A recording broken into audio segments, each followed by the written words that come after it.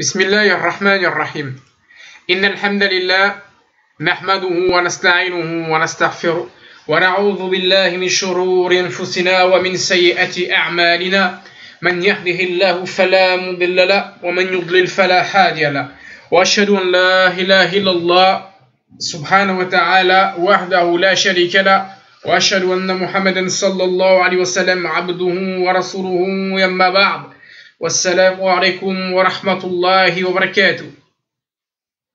On se retrouve, alhamdulillah, par la grâce d'Allah, pour l'étude d'un nouveau livre, une très belle épître, Naam, la parure de l'étudiant en sciences religieuses, le cher Bakr Abu Zaid.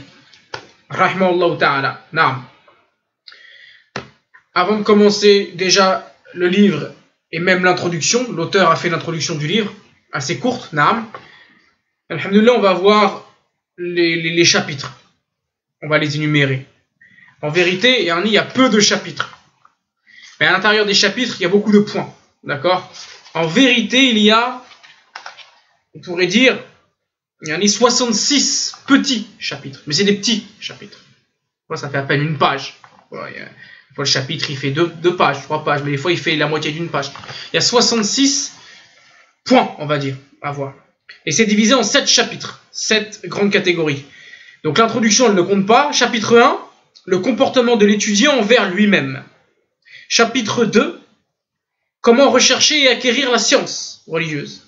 Chapitre 3, le comportement de l'étudiant envers son cher, son professeur. Chapitre 4, le comportement de l'étudiant envers ses camarades, ses compagnons d'études donc. Chapitre 5, le comportement de l'étudiant au cours de sa vie étudiante. Chapitre 6, s'orner des actions, c'est-à-dire la mise en pratique du savoir, ce qui est obligatoire. Et chapitre 7, enfin, les choses à éviter, les choses blâmables, déconseillées, yani ou interdites dans, dans. Donc ça, c'est les sept, les sept grands chapitres, les sept catégories du livre. Puis après, je vous dis, ça se divise, il y a beaucoup d'autres sujets abordés, en fait, à l'intérieur même des, sept chapitres. Après, c'est encore subdivisé avec des points, et yani, c'est encore, euh, voilà. C'est encore plus détaillé.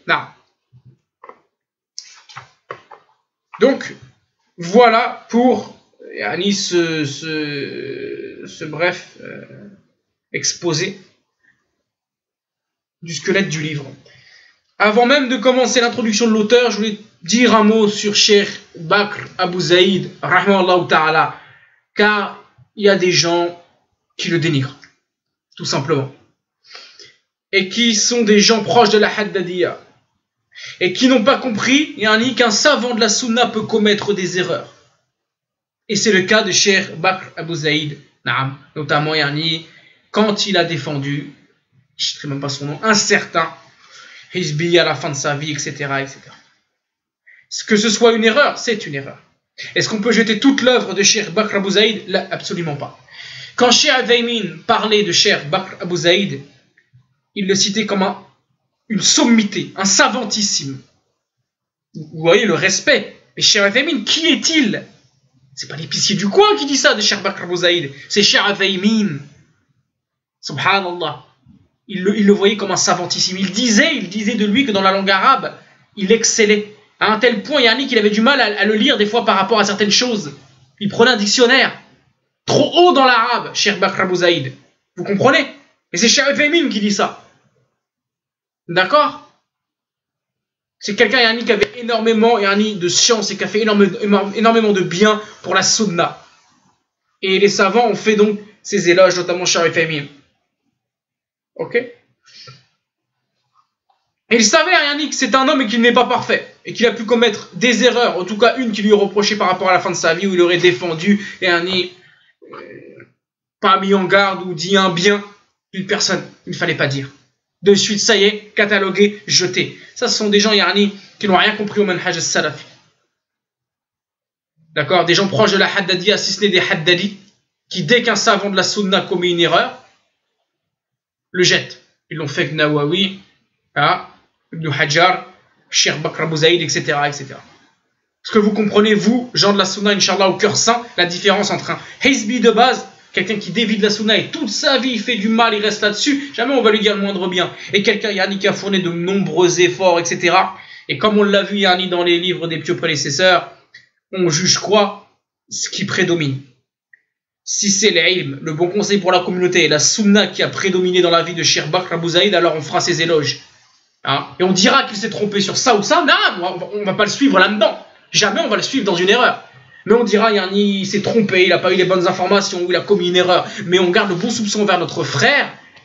Et on, on, omet de citer, c'est-à-dire qu'on dit omettre, du verbe omettre, on omet de citer son mal à chaque fois dans toutes les assises. Si quelqu'un nous demande si Yarni on peut suivre là-dessus, on dit non, ça c'était une erreur. Mais vous voyez, on ne fait pas la promo de son erreur partout. Plutôt on cite son bien et ses qualités, on fait ses éloges. Ça c'est le comportement d'un sunni salafi. Et les gens malades du cœur, qui, se disent salafi mais virent vers la haddadiya, ils vous citeront toujours Yarni, non il a fait une erreur, il s'est égaré à la fin. On ne prend pas de lui. Wallahi, ça c'est un égarement. Je me rappelle Yarni des gens comme ça. Et m'avait interpellé parce que j'avais justement parlé du livre et tout. Euh, et, dans, la, dans la période Yarni de, de, Twitter et des mises en etc. On m'avait dit, eh, en plus, il, il poste du Bakra Bouzaïl, etc. Subhanallah, des minus. Wallah, des, des, des microbes.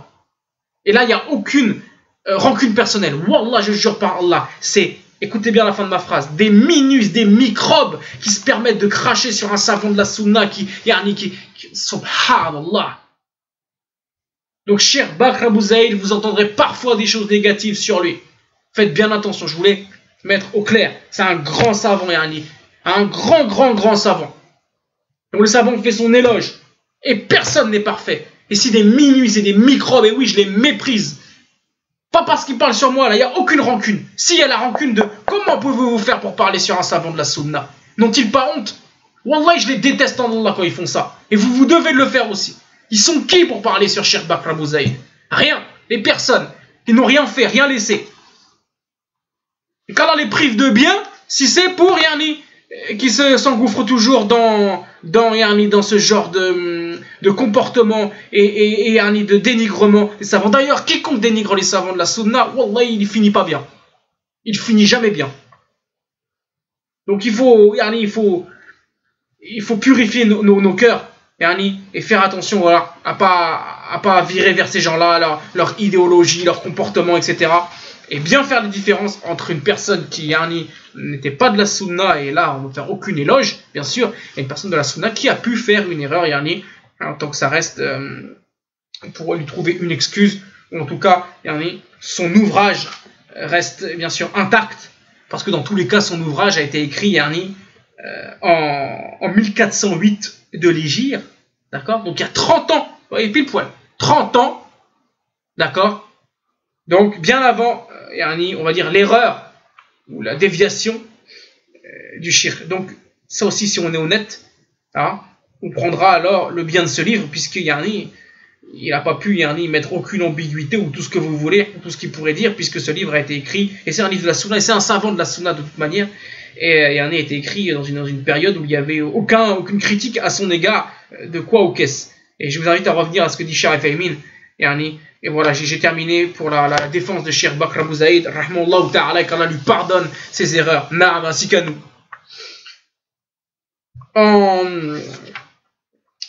en, avant l'introduction, en pré-introduction, je dirais, il y a deux versets que la, la maison d'édition a mis, et je vous les lis. Allah Azzawajal a dit dans la sourate Youssouf, Dis, voici ma voix, j'appelle les gens à la religion d'Allah, moi et ceux qui me suivent, nous basant sur une preuve évidente. Gloire à Allah, et je ne suis point du nombre des associateurs. Surat les abeilles, verset 125. Par la sagesse et la bonne exhortation, appelle les gens au sentier de ton Seigneur et discute avec eux de la meilleure des façons. Non. On voit que ces versets donc, concernent, le ilm et concernent la dawa. Donc notre sujet, notre livre. L'introduction de l'auteur et il dit Alhamdulillahi Rabbil Alamin amma ba'd. J'ai écrit ce livre, béni en l'an 1408 de l'Égypte. Alors que les musulmans, et la louange appartient à Allah, vivent une période d'éveil et de retour aux sciences religieuses qui fait resplendir les visages de joie. Cet éveil ne cesse d'activer, évoluant vers son plus haut degré de développement et son plein épanouissement dans les cœurs des jeunes de cette communauté, sa gloire et le sang qui renouvelle son existence. En effet, nous voyons des armées de jeunes s'embarquer les unes après les autres d'un élan enthousiaste dans divers domaines de la science, surchargés par son poids, ils s'abreuvent, une goutte après l'autre, à ces sources abondantes. Ils sont ambitieux, ils possèdent des acquis en sciences religieuses, et l'étendue de leurs connaissances est stupéfiante. Sans oublier de mentionner qu'ils étudient avec ferveur et approfondissent leurs recherches dans tous les domaines, y compris les questions les plus subtiles. Nul doute que toutes ces raisons suscitent chez les musulmans une joie victorieuse. Gloire et pureté à celui qui ravive les cœurs et les fait mourir. Alors, donc le ici hein, félicite comme ça à son époque ce qu'il voyait en tout cas, Ernie, les jeunes et l'éveil de la jeunesse musulmane, de la communauté, qui voulait revenir à l'apprentissage naam du ilm authentique, les jeunes qui revenaient à la salafia tout simplement. Et il y revenait ardent. qu'Allah nous compte parmi eux. Malgré tout cela, malgré ces éloges, il est indispensable que ce noyau d'étudiants bénis soit guidé et supervisé à chaque étape de son cheminement, afin de s'assurer que tout soit mis en œuvre pour l'éloignement des pièges et l'empêcher de trébucher au cours de sa quête de savoir et de sa mise en pratique. Donc c'est le pourquoi du livre en fait. Comme par exemple l'empêcher de suivre les différents courants de pensée intellectuels, dogmatiques, moraux, sectaires, ou encore d'adhérer à l'esprit partisan ou au militantisme. Ah, bien sûr, apprendre la science religieuse, mais dans la bonne voie. Hein, et ne pas y être voilà, dans un esprit partisan, militantiste, comme il dit, dérivé dans les, dans les courants euh, philosophiques ou les sectes, bien évidemment. Et qu'Allah nous préserve de cela.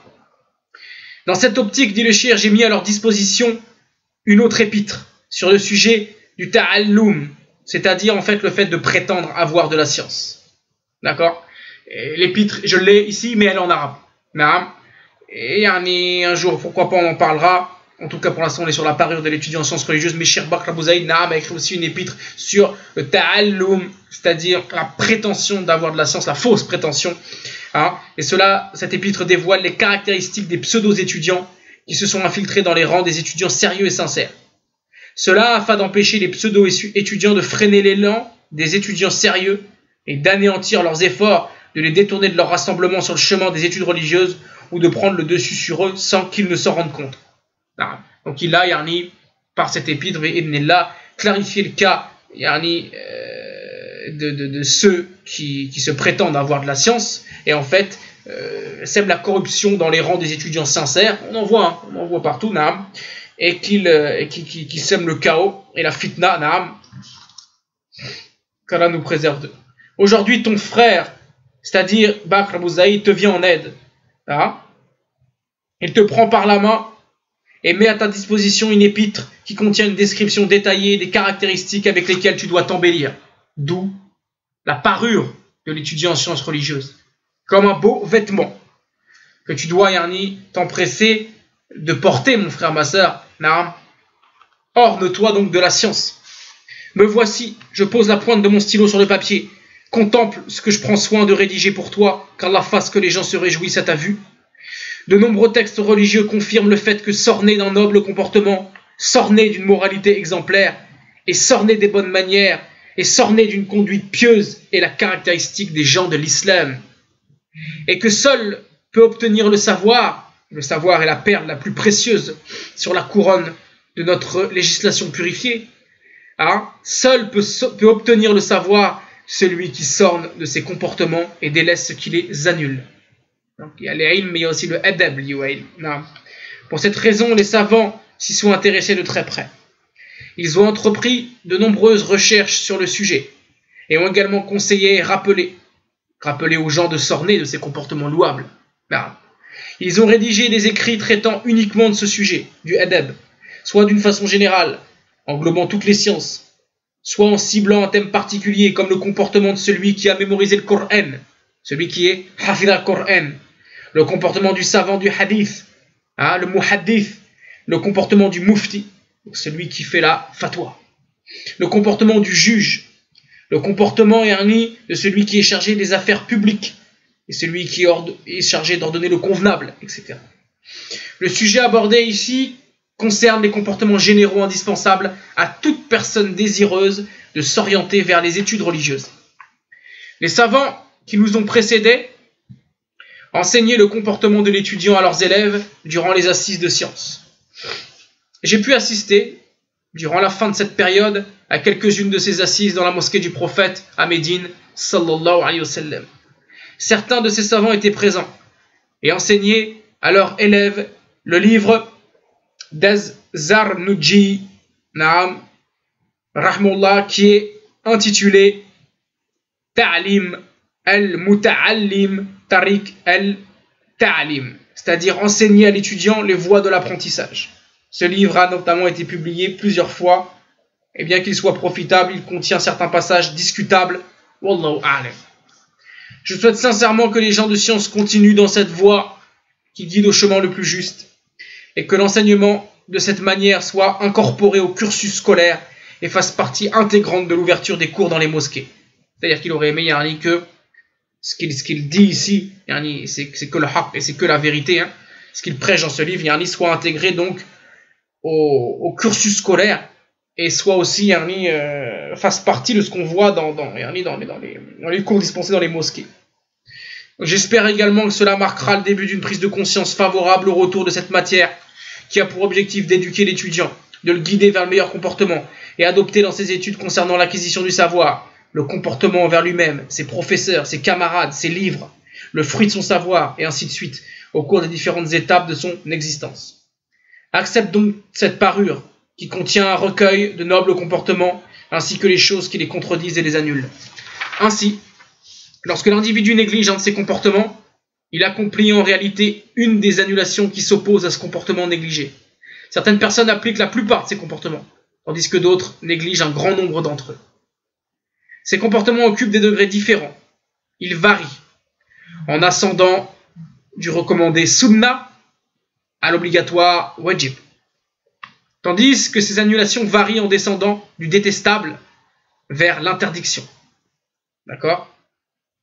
Le kiraha, le détestable, dérivé de makro, vers l'interdiction. Le tahrim, dérivé de haram.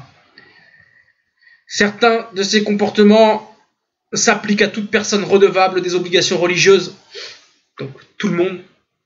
D'autres sont spécifiques à l'étudiant en sciences, et certains sont inhérents à notre religion.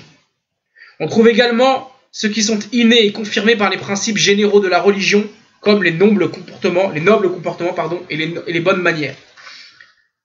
Je n'ai pas eu l'intention de faire une liste exhaustive, c'est-à-dire une liste précise et définitive, c'est-à-dire euh, sur laquelle on ne peut rien rajouter, une liste complète.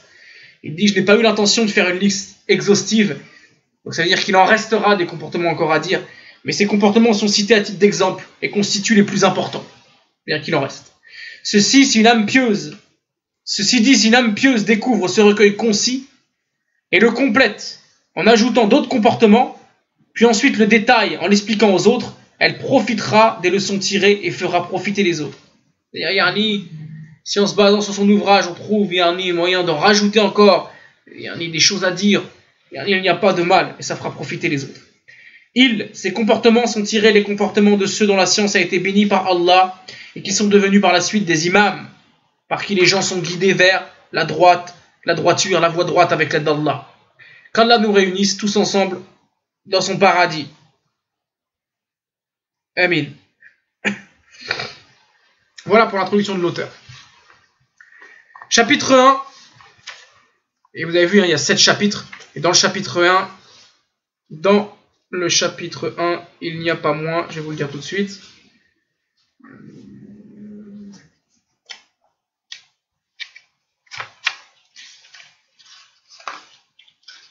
Dans le chapitre 1, il y a 15 points.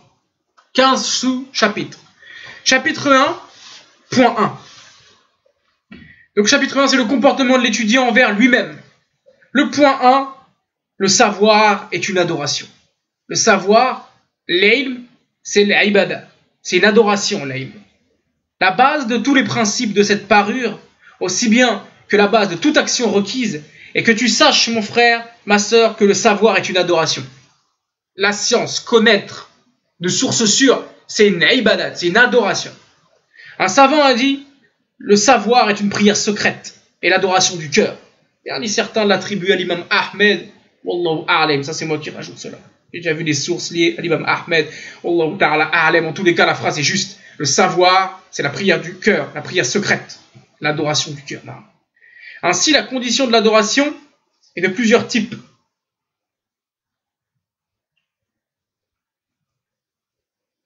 Premièrement, petit a, la sincérité de l'intention pour Allah. Ça, ça fait partie des conditions de l'adoration. Elle est classe. Car Allah a dit Il ne leur a été commandé cependant que d'adorer Allah, lui voit un culte exclusif, d'accomplir as-salat et d'acquitter as-zakat. Et voilà la religion de droiture. D'autre part, dans le hadith célèbre et unique, dit Fard. Le hadith Fard, traduit par unique, en fait c'est un hadith qui a été rapporté par un rapporteur unique à des niveaux de sa chaîne de transmission. Par exemple, le hadith c'est-à-dire les actes ne valent que par leurs intentions, comme on a vu dans le cours, premier cours sur les 99 hadiths. Bah, le seul compagnon qui a rapporté ce hadith du prophète c'est Omar ibn al-Khattab Omar ibn al-Khattab est donc le seul et unique compagnon qui a rapporté ce hadith du prophète. Voilà Yanni quand on dit le hadith unique, fard. Donc dans le hadith célèbre, Omar ibn al-Khattab, hein, le commandeur des croyants a dit, le prophète sallallahu alayhi wa sallam a dit, les actes ne valent que par leurs intentions. Ainsi, lorsque le savoir est dépourvu de la sincérité de l'intention, il évolue du meilleur des actes d'obéissance à la plus vile des transgressions. Ça veut dire que yani, connaître la science religieuse, l'apprendre, etc., ce, ce ilm qui fait à la base partie des meilleurs actes d'obéissance, plus belle adoration qui soit, en vérité, après, c'est la plus vile des transgressions si, Yani, tu n'as pas été sincère pour Allah.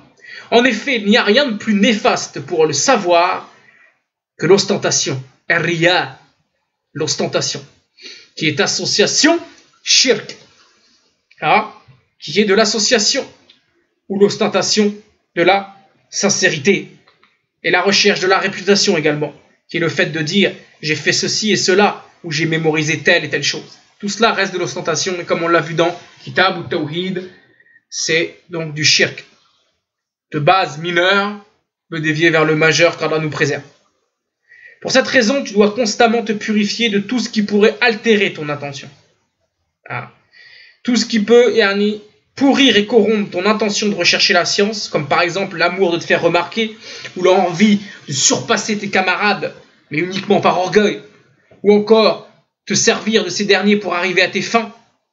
La gloire, l'argent, la grandeur, la réputation, recevoir les éloges ou attirer les regards des autres vers toi. Si l'une de ces choses se mêle à ton intention dans l'ilm, cela va la corrompre. Et la bénédiction de la science disparaît alors. Tu n'auras pas des sciences bénéfiques. Jamais. Ebeden. Allah ne bénira pas ta, ton savoir, ta science. Tu n'auras pas de bonne compréhension. Si tu fais da'wah, elle ne sera pas utile aux gens. Voilà pourquoi tu dois protéger ton intention de tout ce qui pourrait la pousser à désirer un autre qu'Allah à travers cette recherche, cette quête, peu importe, et de tout ce qui pourrait venir corrompre ta recherche du savoir. D'ailleurs, j'ai clarifié les positions et les paroles des savants à ce sujet dans la première partie du livre, At-Ta'allum. Donc, un, ce qui, At-Ta'allum. Donc, les Muta'alim, ce qui donc euh, se, prétendent étudiants ou se prétendent savants, se prétendent du savoir, d'être des gens du, savoir. Il faut ajouter à ce qui vient être, ce qui vient d'être cité, le fait que les savants ont interdit les sujets rares, à ce qu'on appelle les toubouliettes. Sont les sujets rares que l'étudiant recherche et s'efforce de maîtriser afin d'accéder à la notoriété. Il y a dans la religion certains et un sujets rare, complexe, que peut maîtriser. L'étudiant doit, ne doit pas s'efforcer de rechercher cela pour viser là, la notoriété. On disait autrefois, on bat le tambour lorsque le savant commet une erreur. On bat le tambour lorsque le savant commet une erreur. C'est-à-dire qu'Yarni, ça fait du bruit, on avertit les gens. On rapporte que Soufiane a dit, il m'a été donné la compréhension du Coran. Mais dès l'instant où j'ai accepté les dons du sultan, on me l'a reprise. Donc, saisis l'anse la plus solide, qu'Allah te fasse miséricorde. Cette anse qui protège ton intention de ces calamités. Accroche-toi à Allah Ta'ala. Autrement dit, efforce-toi d'être sincère. Crains tout ce qui annule la sincérité de ton intention. Reconnais ta grande pauvreté devant Allah et cherche refuge auprès de lui, Azzawajal. On rapporte également la, parole de Sufyan ibn Sa'id al-Thawri. Il a dit Je n'ai pas traité quelque chose de plus difficile que mon intention. Il n'y a pas. Les, les, les, les c'est moi qui rajoute cela, ils avaient compris en vérité la religion dans le sens où ils disaient jeûner est facile, hajj est facile, qiyam est facile, talib est facile. À côté de quoi? À côté de la concrétisation réelle et sincère de ashadu an la ilaha illallah, ashadu anna muhammad rasulullah, c'est-à-dire être sincère. Elle ikhlas, elle ikhlas la pureté de l'intention, la base de la ilaha illallah, ça c'est dur. Ça c'est la plus grande difficulté. Pour ceux que ça intéresse, Yarni, j'ai fait une vidéo, d'accord, euh, traitant de ce sujet-là, car à l'époque où Yarni, j'ai étudié en assise ce livre, car je l'ai étudié avant vous en assise ce livre, euh, le shir expliquait donc ce livre-là, Naam, et, j'avais pris des notes et j'en avais fait le soir, je me rappelle une vidéo euh, que je peux vous retrouver, Inch'Allah, maintenant, attendez je vous donne le titre, vous tapez sur YouTube, Inch'Allah, si ça peut vous permettre de faire un parallèle avec le cours. Il y avait des informations en plus, euh, voilà, j'avais donné des anecdotes et j'avais détaillé des points concernant toute cette affaire de, de, de pureté d'intention, etc., etc. Je retrouve ça tout de suite, Inch'Allah. Elle s'appelle Exhortation bénéfique autour de la science, de l'ikhlas et de l'adoration. Non. Exhortation bénéfique autour de la science, de l'ikhlas et de l'adoration. Donc c'est une vidéo. Pour ceux que ça intéresse, Inch'Allah. Voilà. Donc cette intention-là, hein, la plus difficile à redresser, comme dit Sofiane Thawri. Ainsi que la parole de Omar ibn Udar, qui dit à son père, « Oh mon père, comment se fait-il que lorsque tu exhortes les gens, ils se mettent à pleurer? Alors que si quelqu'un d'autre que toi les exhorte, ils ne pleurent pas. » Il répondit, « Oh mon fils, la femme qui pleure parce qu'elle a perdu son enfant n'est pas comme celle qu'on loue, c'est-à-dire qui est payée pour pleurer. Il y a des femmes, il y a des femmes, Yanni, qui euh, se forcent à pleurer, ou même sont payées à pleurer. Autrefois, les gens payaient des femmes pour pleurer lors des afflictions. Ne me demandez pas pourquoi. C'est comme ça euh, dans certaines, certaines coutumes. Voilà. Soit disant, euh, c'était bien vu. La femme, elle ne pouvait pas se forcer des larmes, donc il payait des femmes, des fausses pleureuses, pour venir comme ça. Alors en plus, c'est haram, en plus que c'est haram, pour venir pleurer, exagérer, yani, euh, le, malheur. Et Omar Ibn Var, quand il dit à son père, yani, euh, il veut faire comprendre donc à son fils que lorsque il exhorte les gens, il est sincère. D'accord? Il est sincère quand il exhorte les gens, tout comme la femme qui pleure à cause de la mort de son enfant, celle qui est vraiment triste. D'accord? Ainsi, toute personne qui entend cette femme pleurer sera triste à son tour. De même, les gens pleurent en, écoutant l'exhortation ou sont touchés ou se remettent en question en écoutant telle ou telle ou telle ou telle exhortation, si elle est sincère. Car si elle part du cœur et qu'elle est sincère, et que la personne vit cela, aime cela, applique cela, vous comprenez?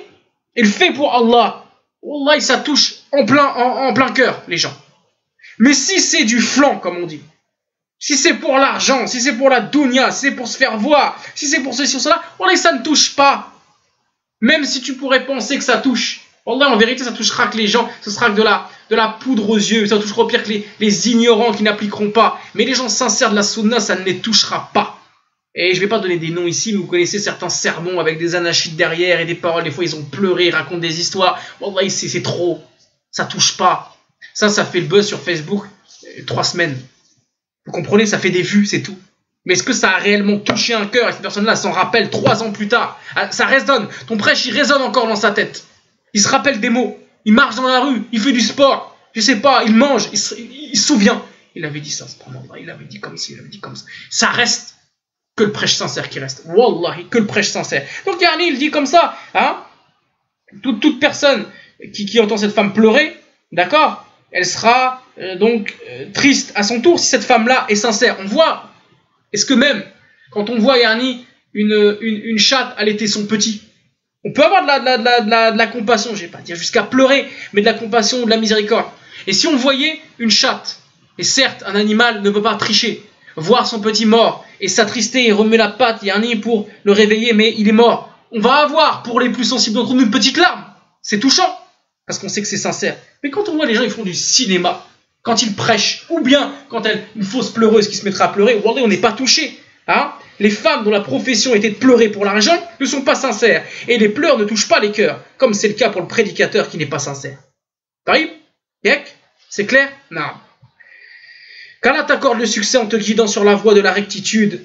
Amen. Non. Petit B, deuxième point.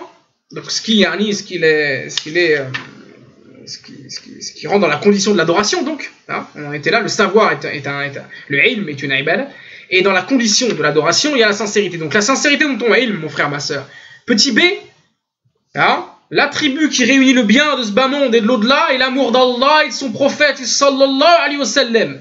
Et sa réalisation n'est possible que par un suivi absolu et par la poursuite des traces de l'infaillible. Qui est l'infaillible? Mohammed sallallahu alayhi wa sallam donc le suivi de la sunna. Oui, c'est une révision des cours, mais walhamdulillah, c'est jamais assez clair. Tu es dans l'ilm, tu te dis étudiant, alors révise Tania al-ikhlas wal mutabba'a, le suivi de la sunna. Allah Azzawajal a dit dans le sens du verset, dit, si vous aimez vraiment Allah, suivez-moi. C'est-à-dire acceptez le monothéisme de l'islam, suivez le Coran et la sunna, naam. Suivez-moi. Allah vous aimera alors et vous pardonnera vos péchés en un mot, ceci est considéré comme la base de cette parure. D'accord? Tout cela, c'est considéré comme la base de cette parure, donc de ce livre, et occupe la place de la couronne par rapport aux vêtements. Al-Ikhlas wal mutabba, c'est vraiment yani, si tu fais d'ailleurs toute autre œuvre, là on parle de la quête de la science, une magnifique œuvre, certes, mais mon frère, ma quoi que tu fasses dans ton dîne, il faut que ta sincérité soit au top et ton suivi de la sunna également.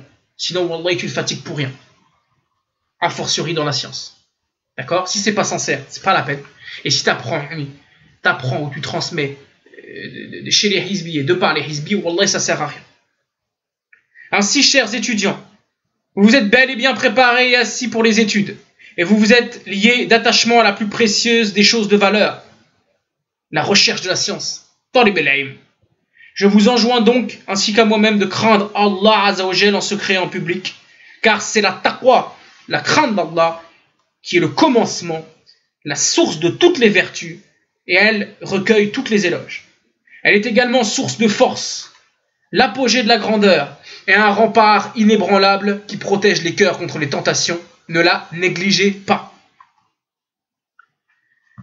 Donc, Ernie, on a vu donc le point 1, le savoir est une adoration, et on a vu qu'il faut la sincérité, la conformité. Le point 2, le point 2, Sache qu'il faut suivre la voie des pieux prédécesseurs.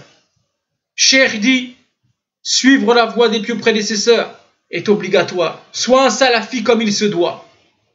Suis le chemin des pieux prédécesseurs, à savoir les compagnons, puis ceux qui viennent après eux et après eux, et qui ont suivi leurs pas dans tous les domaines de la religion, concernant le monothéisme, concernant l'adoration, etc. Tu dois donc te distinguer par ton engagement dans le suivi les pas de l'envoyé d'Allah sallallahu en donnant la priorité au sunnan sur toi-même, à la preuve avant tout, le dalil. C'est ça, salafiyoun. Ah, en donnant donc cette priorité au sunnan sur toi-même, ton avis personnel, en délaissant les querelles, en délaissant les débats et en délaissant les polémiques. Ne cherche pas à approfondir les connaissances dans la science de la dialectique, ce qu'on appelle ilm al-kalam, hein, ce que font les asharia. Les asharia, ils sont pro et forts dans le domaine du Aïm el-Kalam, la science de la rhétorique, de la philosophie. Naam. Ne cherche pas à approfondir cela et délaisse tout débat futile. Éloigne-toi en fait de tout ce qui conduit vers le péché ou qui va à l'encontre de la religion.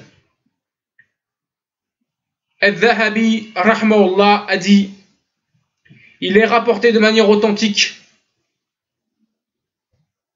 qu'Ad-Dara a dit Rien ne m'est plus détestable que la science de la dialectique, ilm kalam Et moi je dis, donc dit euh, Al-Dhahabi, l'homme n'est ni entré dans la science de la dialectique, ni dans la science de la polémique, jiddal, et il ne s'est pas empêtré Au contraire, il était salafi, il suivait la voie des salafs. D'accord? Il citait donc Ad-Darakunti. Il dit rien n'est plus détestable que la science de la dialectique.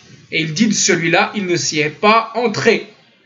Ah il n'y est pas entré dans cette science de la dialectique, ni dans celle de la polémique. Au contraire, il était salafi.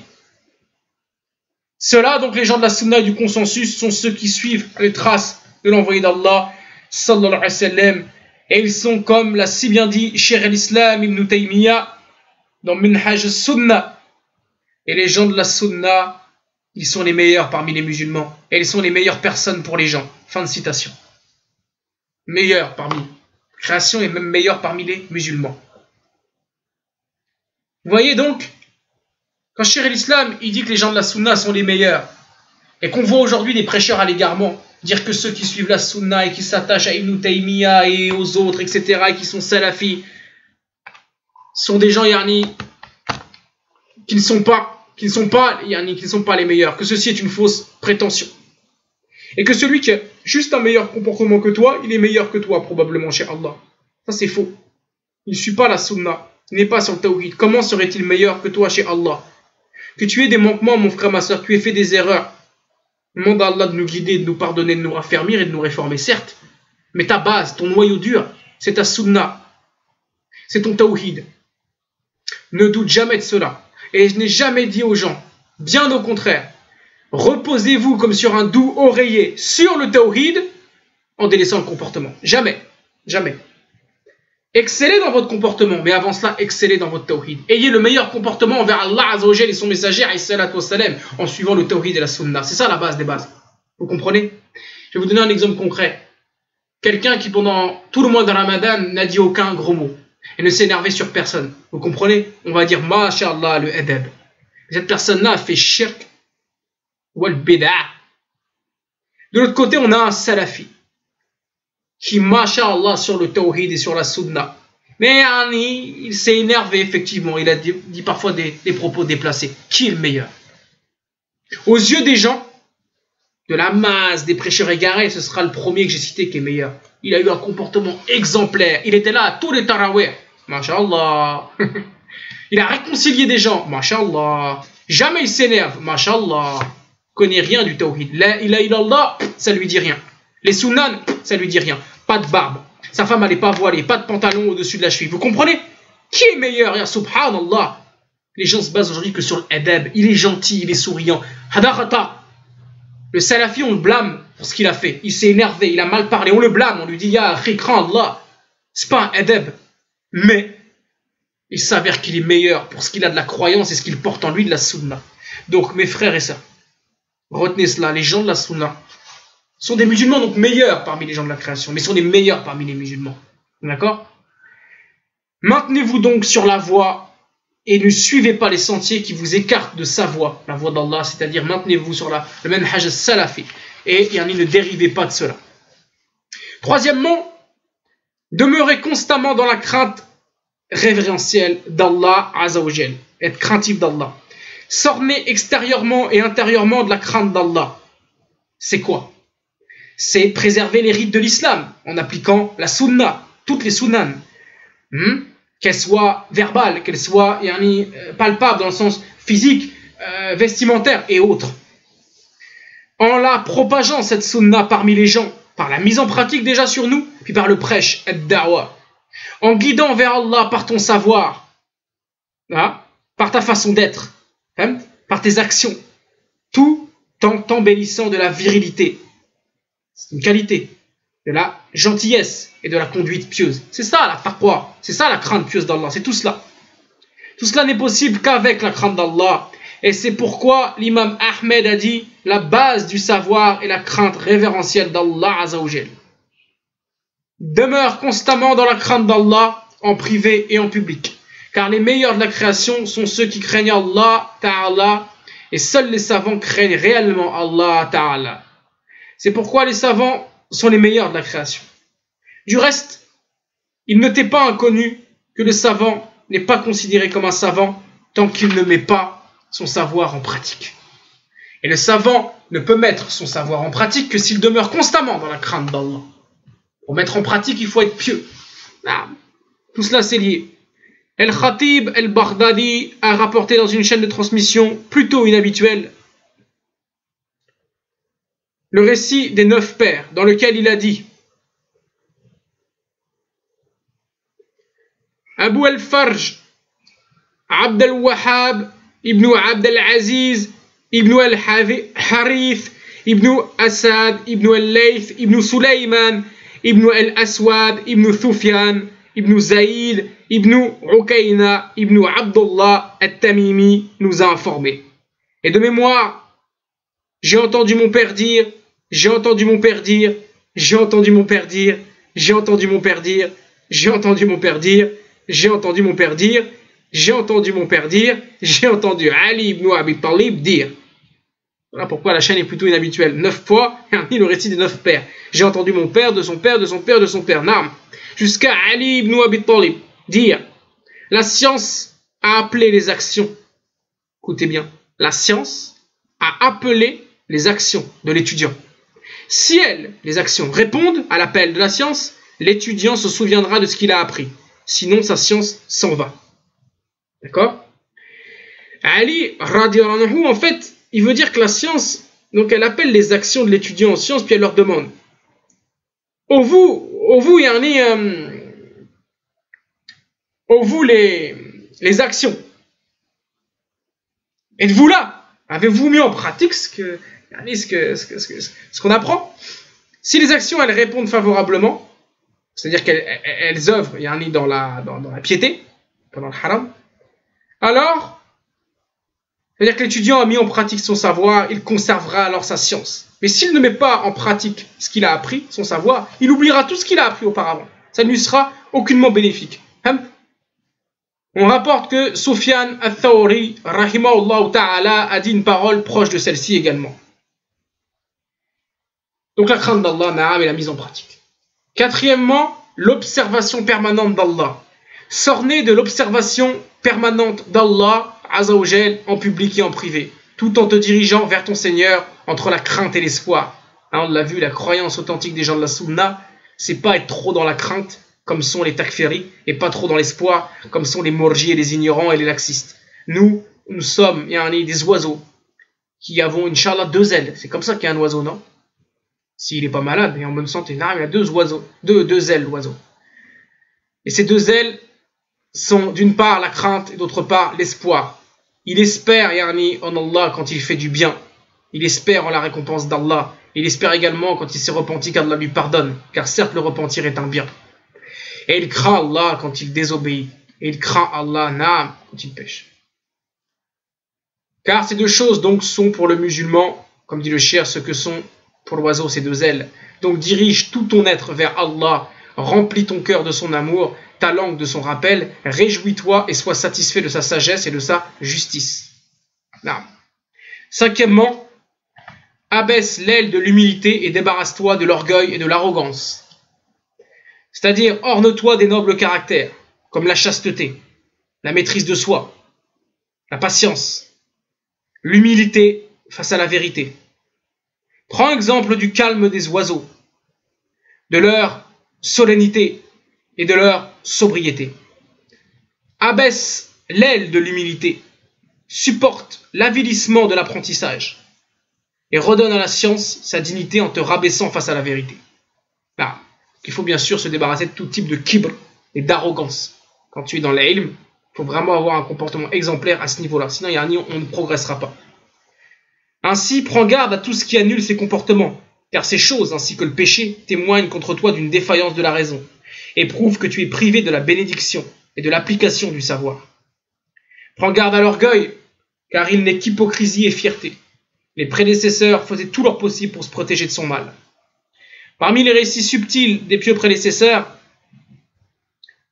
il y a ce qui est rapporté Al-Dhahabi d'une manière authentique dans la biographie de la biographie de Amr ibn al-Aswad al-Ansi, décédé durant le califat de Abd al-Malik ibn Marwan. Quand il sortait de la mosquée, il saisissait sa main gauche avec sa main droite. On lui demanda pour quelle raison il faisait cela? Il répondit de peur que ma main ne fasse de l'hypocrisie. Subhanallah. Je dis, c'est-à-dire il la tenait par peur de la balancer avec ostentation en marchant, car cela est une forme d'orgueil. Fin de citation. Et jusque-là, quand on marche, nous aujourd'hui, l'exemple le plus flagrant, pour ceux qui se souviennent, je ne sais pas s'ils font ça encore, euh, les jeunes, mais à mon époque, époque survêt Lacoste et Femt, Air Max, et manteau de cuir, tout ça, à l'époque, hein, les 90, les, les, gens, on on disait, tu, attention, tu vas t'envoler quand on voulait se moquer de. Je sais pas si vous vous rappelez pour les plus anciens. Il marchait comme ça avec les bras ballants, mais à l'exagération. Il faisait des, et côté gauche et côté droit, et le bras il monte. C'était la, la dégaine des racailles de l'époque, entre guillemets. Ça, c'était bourré d'orgueil. Mais évidemment, eux s'en cachaient pas. Hein. C'était l'arrogance à son paroxysme et l'orgueil à son paroxysme. Vous savez, les bras comme ça, ballants et qui marchaient comme ça. Celui qui le faisait le plus, c'était celui qui était le plus voyou, le plus racaille. On dirait plutôt qu'ils allaient s'envoler. Cela est effectivement arrivé donc à El-Ansi. Méfie-toi également du vice des tyrans. L'arrogance, car l'arrogance, l'avidité et la jalousie sont les premiers péchés par lesquels on a désobéi à Allah. Naam. Fait référence à qui ici? Shaitan. Arrogance, avidité, jalousie. Wallahi, shaitan, tout ce qui s'ensuit, tout le mal vient à partir de quoi? De la jalousie. D'accord? D'accord l'histoire de Youssouf Par jalousie. Les fils d'Adam Par jalousie. Shaitan, jalousie. Le hasad, c'est quelque chose de très grave. Donc arrogance, avidité, cupidité, jalousie sont les premiers péchés par lesquels on a désobéi à Allah Ta'ala. Être hautain avec ton professeur est une forme d'arrogance. Et Wallah, on le voit beaucoup. On le voit beaucoup. Alors, yani, je, on va dire que je suis moins choqué quand un jeune ou une jeune me manque de respect, bien qu'il y a le rang quand même de celui qui enseigne, donc de professeur, mais je me dis, bon, qui suis-je, je reste encore très jeune, mais Alish, ça me déplaît, je trouve ça agib, c'est un très mauvais edeb, quand tu questionnes, etc. Il y en a qui sont très, très hautains, mais le pire, c'est ceux qui yani, parlent comme ça à des gens de 40, 50, 60, 70 ans. Là, par contre, là, il n'y a plus d'ambiguïté, il n'y a plus rien, il n'y a plus d'excuses. voilà. Être hautain avec ton professeur, c'est une forme d'arrogance. Et rejeter les choses que tu apprends de ceux qui ont moins de connaissances que toi est aussi de l'arrogance. Souvent, il y a des gens, yani, tu sais qu'ils ont moins de ilm, mais il vient, il t'enseigne quelque chose et tu le rejettes. En vérité, tu rejettes le haqq, tu rejettes une part de la science d'Allah Ta'ala. Peu importe qui te la ramène, tant que c'est sahir. De même que négliger la mise en pratique du savoir que tu possèdes est le comble de l'arrogance et une cause de la privation, privation de la science. Tu demandes à Allah qui te rajoute du ilm, si tu stagnes, c'est que tu ne mets pas en pratique ce que tu sais déjà. Sinon, yani, tu évoluerais. Tu évoluerais en compréhension et en, connaissance en quantité. D'accord? Mais à quoi sert de demander encore plus à Allah si toi-même tu ne mets pas en pratique ce que tu possèdes déjà? Et quelle arrogance vis-à-vis -vis du ilm? On a dit, la science s'échappe du jeune orgueilleux, comme le torrent dévale de la montagne. Garde donc les pieds sur terre, et force-toi à te sous-estimer et à te dénigrer. Et lorsque tu pressens l'orgueil et l'arrogance, l'amour de te faire remarquer, ou que tu es étonné de ta propre personne, ou d'autres choses parmi les choses qui annulent la science et la détruisent, ternissent son prestige et éteignent sa lumière, lorsque ton savoir ou ta position s'améliore, rappelle-toi cela, et tu atteindras alors un statut et un bonheur si grand que les gens t'environ. Rappelle-toi du danger du kibr. Garde les pieds sur terre, mon frère, ma soeur. Hein. Sous-estime-toi toujours, dénigre-toi, pas devant les gens. Ça, c'est justement une forme d'ostentation. Mais seul, rabaisse-toi, dénigre-toi et t'émerveille pas de tes œuvres, sous-estime-toi et continue tes efforts. Ainsi, tu vas progresser. Et là, les gens t'environt. Alors, toi, tu te, tu détestes, tu t'aimes pas. Les gens diront, Machallah, il est haut. Parce que toi, tu te considères bas. Par contre, si tu te considères haut, et c'est l'inverse. D'accord? Donc, il faut pas, il faut pas, il faut pas se, se, se, penser euh, savant ou on est toujours en quête de savoir. On reste lucide, on apprend quelque chose, bien sûr, c'est du rêve. Mais il y a eu des cas comme ça de gens qui ont commencé à vouloir écraser les autres, à dénigrer les autres, et pas leur propre personne pour le coup, à se surestimer, etc. Ils ont tout perdu. Ils ont tout perdu. Abdallah ibn Bakr ibn Abdallah al-Mudzani Bakr est l'imam, donc le rapporteur authentique, il figure dans les six recueils de hadith. Les six recueils de hadith, donc les six principaux. Hein. Al-Bukhari, Muslim, Abu Daoud, Al-Tirmidhi, Al-Nasa'i, Ibn Majah. Donc, Bakr est l'imam, le rapporteur de hadith qui figure dans ces six recueils, a dit J'ai entendu quelqu'un dire de mon père qu'il a dit, alors qu'il se tenait debout à Arafat, si je n'étais pas parmi eux, j'aurais affirmé sans aucun doute qu'on leur a pardonné leurs péchés. Vous avez compris? Tous les gens qui sont à Arafat, là, si j'étais pas parmi eux, j'aurais dit qu'on leur, Allah leur a pardonné tous leurs péchés. Mais il y a moi encore. C'est pourquoi je me dénigre, je me rabaisse. Et Allah, il peut pas pardonner les péchés de tous les gens parce que je suis là. Et je suis un grand pécheur. Vous voyez? Il y a des gens, Allah, c'est le contraire. Ils sont toujours très... Ils font le plus de péchés d'aller dans une extrême confiance. Entendez, j'ai une foi forte, machallah, alors tu pratiques rien. Rien. Tu vois, les gens les plus ignorants. En vérité, c'est ça le plus aberrant, c'est que tu vas voir les, savants. Les gens les plus pieux et les plus craintifs d'Allah sont ceux, yani, qui sont le plus durs envers eux-mêmes, qui doutent le plus, qui craignent Allah, naam, ils ont peur, et, ils disent ils n'ont rien fait. Wallah, vous savez, Al-Bukhari, Mohammed ibn Ismail, Al-Bukhari, Cheikh Al-Bukhari, l'imam, il disait, il disait dans cette doha, c'est rapporté, Allah ne me jette pas au feu, je n'ai rien fait pour leur communauté. Je suis qu'un pervers, un grand pécheur. Ne me jette pas au feu, je crains le feu. non, El Bukhari. Donc voilà. Et aujourd'hui, il y a des gens, je vous dis, ils ne font rien, mais rien de rien. La fille est décolletée. Photo sur internet, sort dehors, cheveux dans le vent, aucun voile. Peut-être à pris pas. Et elle a la conscience super relaxée, tranquille. Donc elle est gentille avec sa mère et qu'elle fait ramadan. Voilà. Fait ramadan. Elle dit la foi c'est dans le cœur. Et Allah est le plus grand et le plus miséricordieux. Ils n'ont aucun doute sur eux-mêmes. Voilà, ces gens-là, ils doutent de rien. Comme on dit, mon cœur est blanc. Ils affirment, mon cœur, il est blanc. On a entendu ça. Qu'est-ce que c'est prétentieux? Ton cœur, il est blanc. Wallah, rien que cette parole-là, ça prouve que ton cœur, il est noir. Pour dire une telle parole. Personne ne peut affirmer que son cœur, il est blanc. C'est une prétention énorme. Al-Zahabi a mentionné les différents recueils de hadith dans lesquels ce récit est rapporté. Puis il a dit c'est de cette façon qu'il convient de se rabaisser, de se sous-estimer. Ce que je viens de vous expliquer. Wallah, il faut se. Voilà. Tu penses toujours que c'est toi, gagner le, le fautif. Et tu, tu, peux faire une journée complète d'adoration, mais si tu as fait un seul mal, alors toi tu te rappelleras que de ton mal. Il faut, être dur avec soi-même, sans être dans le désespoir et la dépression. C'est ça, trouver le juste milieu. Être dur avec toujours ce petit grain d'espoir en avance. Mais Yarni, je n'ai pas de haute estime de moi. Ça, c'est pas correct. Là, on va continuer, Inch'Allah, encore le point 6, puis après, je vais vous laisser, là. Ça fait maintenant, il y en a, voilà, une heure. Je pense qu'une heure, c'est bien. On fera une heure à chaque fois. D'accord? On vous a une demi-heure sur l'autre cours parce qu'il était plus, plus léger, mais là le livre, il est un peu plus. Je vais pas dire que l'autre n'était pas sérieux, mais il est un peu plus, un peu plus lourd. C'est pour la, la, science, etc. Et, et euh, une heure, je pense que, je pense que c'est correct.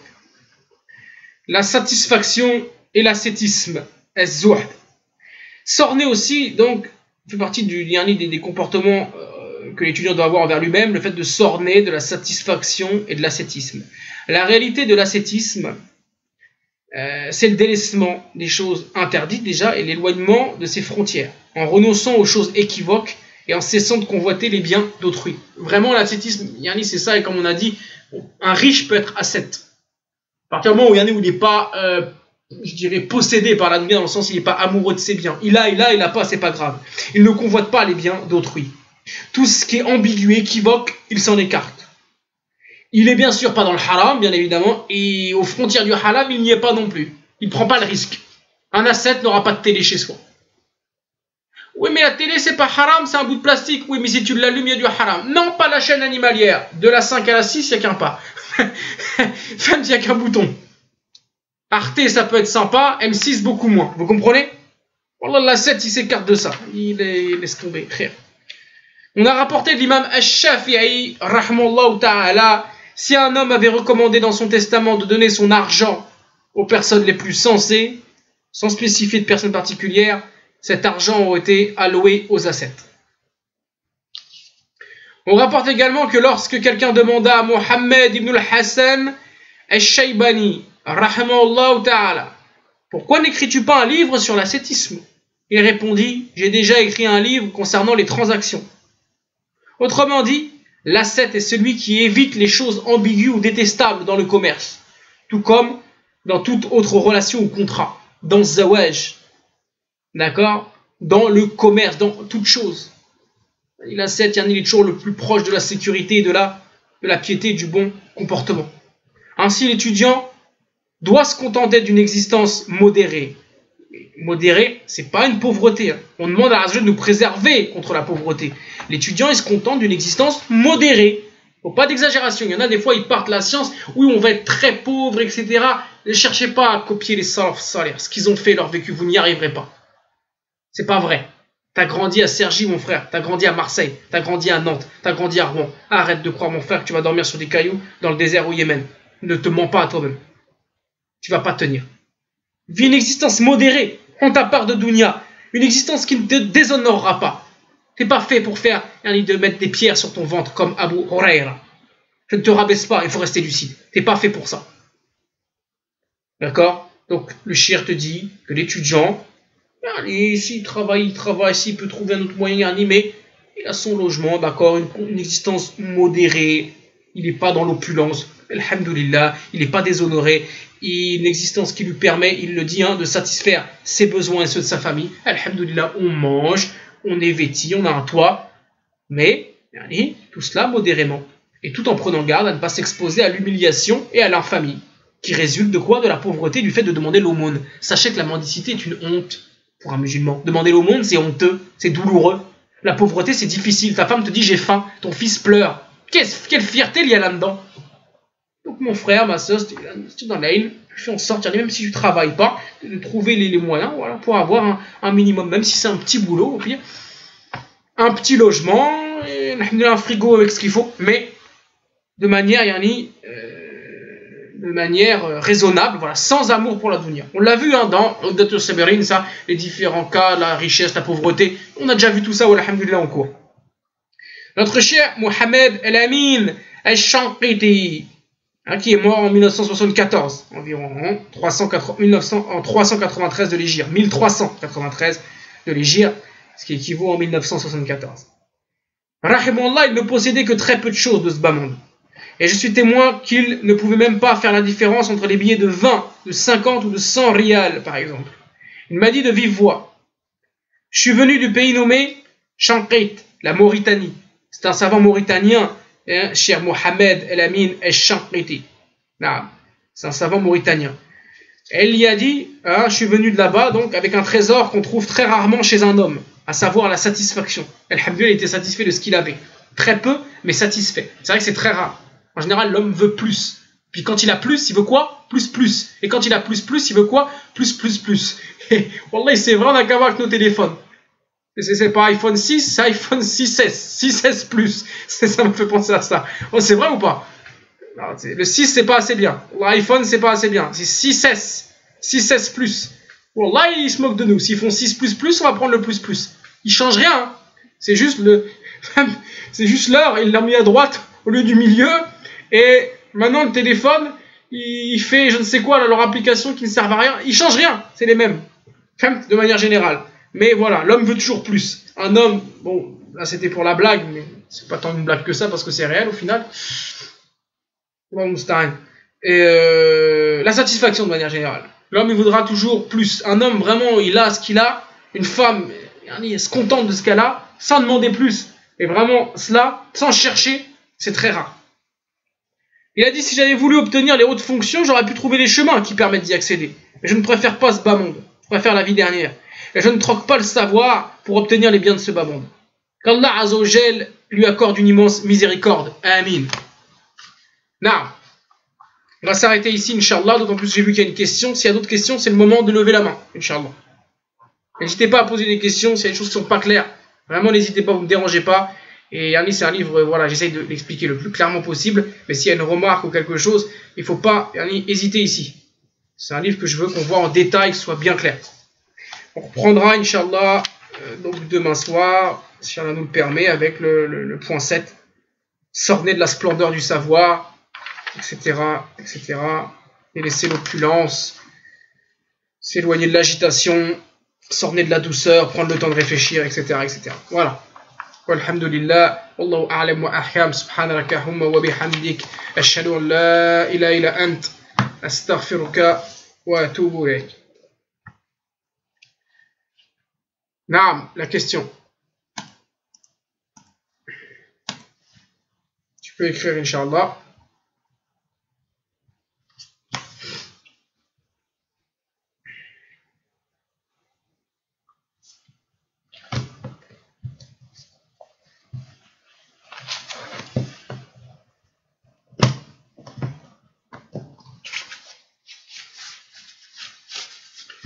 Inch'Allah, essayez de préparer vos questions avant, on l'a déjà dit. Imaginez, vous êtes dans une assise, je donne la parole et tu réfléchis 10 minutes à ta question. Essayez d'avoir vos questions prêtes. Non, non, vas-y. En attendant, Inch'Allah.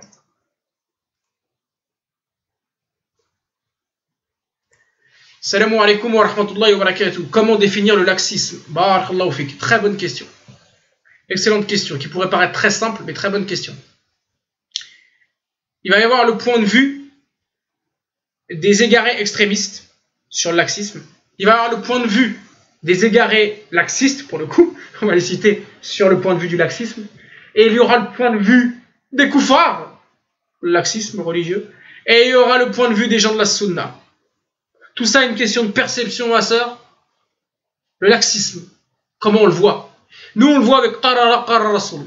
Nous, on sait ce qu'est de l'exagération et de l'extrémisme ou du laxisme en fonction de quoi? Qarara Rasul. Mais d'autres personnes qui ne sont pas sur Menhaj Salafi Qarara Rasul vont avoir un tout autre, toute autre vision, un tout autre, euh, on dirait un autre aspect du, laxisme selon eux. Mais c'est selon eux. Nous, c'est selon Qarara Rasul. C'est ça les gens de la Sunna. Et c'est là que fait toute la différence et la subtilité. On va voir par exemple, il y a des, des tétakfirioun, les gens de Daesh. Pour eux, l'extrémisme, Wallahi, je sais même pas si ils en parlent de l'extrémisme tellement ils sont dans l'extrême. Je ne sais même pas dire qu'est-ce qu'il y a dans la tête d'un Daeshien pour dire c'est quoi qui est extrême, étant donné qu'ils font déjà des choses tellement gore.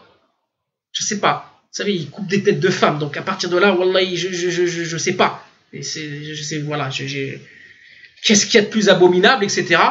Donc, euh, je ne, je, n'arrive pas à trouver, je n'ai pas le cerveau assez sale, ou alhamdulillah, pour imaginer ce qui serait exagéré pour un takfiri. En tout cas, je sais ce qu'est laxisme pour eux. Le laxisme, c'est, c'est les gens comme nous. Les salafis ils disent ce sont des mourgis. Ils nous traitent comme ça. Hein. Les mourgis, les laxistes de la communauté. Nous, nous qui nous attachons à une pratique ferme. Attendez. On est vu, on est vu comme des gens fermes par les gens laxistes. On va y venir après, le point de vue des gens laxistes. Les koufars et les gens laxistes nous traitent de fermes. Subhanallah. Et les takfiris, les égarés extrémistes, nous traitent de laxistes. C'est bon signe. C'est signe qu'on est sur quoi? Le juste milieu. Traité de laxistes par les extrémistes, traité d'extrémistes par les laxistes. Alhamdulillah, juste milieu. C'est très bien. Ça nous convient très bien. Cher Raslan qui dit comme ça. Cher Raslan qui dit comme ça. C'est signe d'être sur le haq, sur la salafia. Non. Donc, selon eux, voilà, le laxisme, ça va être de ne pas poser des bombes, de ne pas tuer des gens. C'est du laxisme pour eux. C'est des égarés, billah. Selon les laxistes, les vrais, les mourgis, vous savez, ceux qui y bon, tu me demandes comment le définir. Euh, d'abord, on va voir comment eux ils voient. Le laxisme, selon eux, ben, je ne sais pas même s'ils pourraient parler de laxisme étant donné qu'ils sont dedans. Peut-être qu'ils vont dire quelqu'un est laxiste, quelqu'un peut-être qui ne jeûne pas, parce qu'ils ils aiment bien quand même cette tradition. C'est folklorique le ramadan. Voilà. Puis dans la tradition, si quelqu'un qui n'a pas venu au Tarawih, on va dire qu'il est un petit peu laxiste dans sa pratique quand même. Il n'est pas venu au Tarawih, hein. c'est pas bien. Eux, ils se basent sur la tradition et le folklore. Bien que le Tarawih et, et, Ramadan, c'est du, c'est du c'est du din, hein. attention, c'est pas ce que je dis. Mais eux, ça rentre dans ce qu'ils considèrent seulement de la religion. Quoi d'autre? Je ne sais pas, moi. Euh, qu'est-ce qu'ils considéraient comme laxisme? Ils sont tellement dans le laxisme qu'en vérité, ils passent l'éponge sur tout. Tu pries pas, c'est pas grave. Tu te voiles pas, c'est pas grave. Et, et par contre, ils voient comme extrémisme, eux, ça, ça je peux vous le dire, tu vois, ça je le sais. Porter le voile, c'est de l'extrémisme. Ne pas écouter la musique, c'est de l'extrémisme. Yani, euh, euh, euh, prier à l'heure, c'est de l'extrémisme. Faire des cours, là, comme tous les jours, on est des extrémistes. Hein je me rappelle qu'il y a une sœur, Yani, elle est dans la roue, en plus, ses parents lui ont dit J'ai peur, Yani, que tu, tu, tu, tu comment dire, radicalises, etc. Parce qu'elle elle écoute des cours tous les jours, elle est sur son ordinateur, elle écoute des cours. Au contraire, ce sont ces cours bénéfiques qui l'éloigneront de l'extrémisme. Maintenant, on pardonne sa chère maman, quand la guide et la préserve. Pourquoi? Parce qu'elle peut penser aussi que sa fille traîne sur des sites pas clairs, de pseudo yani, euh, les daïchiens, les pseudo djihadistes, etc. Donc on peut comprendre aussi une maman qui s'inquiète et dit trop sur son ordinateur. Il faut que cette jeune femme-là clarifie à sa mère. J'écoute quelqu'un qui, connaît la religion, qui explique ce qu'ont impliqué les savants. On est contre Daesh. Pour rassurer maman. C'est indispensable. Sinon c'est vrai que ça peut mettre l'ambiguïté. Comme un frère qui laisse pousser sa barbe. Maman, je pars pas à Alep. Jamais. Je vais juste à la mosquée. Et je suis pas avec des tarés. Il faut qu'on explique à nos parents, il faut qu'on explique aux journalistes, aux politiques, aux voisins, à nos parents, à tout le monde qui on est. Sinon, comment ils vont savoir qui on est? Moi, je suis quelqu'un qui parle énormément avec les gens. Énormément. Je l'ai même passé sur BFM. On m'avait fait assez de reproches pour ça. Parce que j'aurais dû, pas dû, là et pas le propos. Je l'ai fait avec le cœur. J'ai dit, la fille contre Daesh, à la télé. Alhamdulillah. C'est tout. J'ai cru, bon, à ce moment-là, de faire cela. Est-ce que je regrette? Non. Faire différemment? Peut-être mais je regrette pas. Là, à refaire aujourd'hui, je le referai, oui. Bien sûr, beaucoup plus posé, avec beaucoup plus de science et de recul. C'est certain. Mais en soi, euh, il faut qu'on clarifie aux gens qui on est. Sinon, il y aura toujours des doutes et des ambiguïtés. Vous comprenez? Donc, pour les laxistes, les vrais mourgis de la communauté, pour le coup, les vrais, et là, on les qualifie pour de vrais sans exagération, sont des mourgis qui disent que la foi est que dans le cœur et qu'on peut ne rien pratiquer, il n'y a pas de problème, et que Yarni, c'est juste je crois en Allah, je crois en Dieu, je fais Ramadan, you, you, you, vive le couscous et les merguez, et puis on ira à la Mecque à 70 ans, et c'est super, et c'est ça la religion, euh, sans voile, sans prière, sans rien. Effectivement, on est des extraterrestres pour eux, et on est des grands extrémistes, quoi. Ils nous considèrent comme des gens euh, oh là là, des obscurantistes et tout et tout, parce qu'il étudie, parce qu'il s'abarbe, parce que ça rouelle, parce que pas de musique. Ah, il sert pas la main des filles. Ah, c'est extrême. Non, non, non, non. C'est le haq. C'est-à-dire que tu dis que tu es musulman. D'accord, tu dis que tu es musulman. Soumis à Allah. D'accord, d'accord. Et tu suis quoi? Le prophète, tu aimes Mohammed, c'est ça que vous dites dans vos maoulids innovés, c'est ça, parce qu'ils font ça aussi. Ils aiment beaucoup le maoulid. Le maoulid, c'est témoignage de. On va témoigner notre amour au prophète, mais au lieu de témoigner l'amour tous les jours en faisant les sunnan et en obéissant, eux ils font une fête innovée, ils font lors d'une fête innovée, bref. Donc ils disent on aime le prophète salam. Oh, le prophète salam, il a dit mieux, mieux, mieux, mieux que quelqu'un s'enfonce un clou dans la tête plutôt qu'il touche une femme qui n'est pas la sienne. Et il ne serrait jamais la, main des femmes, pardon, même quand elles prêtaient allégeance. Et pourtant il était le meilleur des hommes, il n'y avait aucune ambiguïté. Si avec le meilleur des hommes, sans aucune ambiguïté, pour un pacte d'allégeance, il n'y a pas de serrage de main. Comment aujourd'hui on serre la main des femmes Pour tout et pour rien? Ces gens-là, il faut leur envoyer ça en pleine, poire, en pleine dent. Qu'ils comprennent. Vous êtes des extrémistes. Ils dénigrent la sunna, ils dénigrent la polygamie, ils dénigrent le fait qu'on ne serre pas la main des femmes. Ah, c'est de l'extrémisme. Donc ils disent que Mohammed est un extrémiste, un radicalisé, un obscurantiste. C'est très grave. Ce sont des paroles de coufre, clairement. C'est du coufre ekbar. Il n'y a pas de doute. Donc, celui qui dit une seule chose de la religion, c'est du kufr akbar. Alors que lui, alhamdulillah, ma fille, la foi, c'est dans le cœur. Elle, c'est une musulmane pieuse, Allah. Quel islam? Quel islam? On ne le connaît pas, celui-là. C'est leur islam à eux, mes frères et sœurs. À eux. Ils l'ont inventé. L'islam, euh, pseudo-islam, je ne peux pas appeler ça islam, de France, laxiste. Et c'est là où je vais te répondre enfin, ma sœur, après tout cet argumentaire. Qu'est-ce que le laxisme On le définit selon notre vision à nous. Pas comme on le voit les koufars. Pour eux, il y a un musulman qui est bien, c'est un musulman qui a la barbe rasée, qui fait la bise aux femmes, sa femme elle en bikini sur la plage. Euh, ça, c'est des musulmans, machallah pour eux. Très intégrés, très bien, pas laxistes du tout, non, très bien.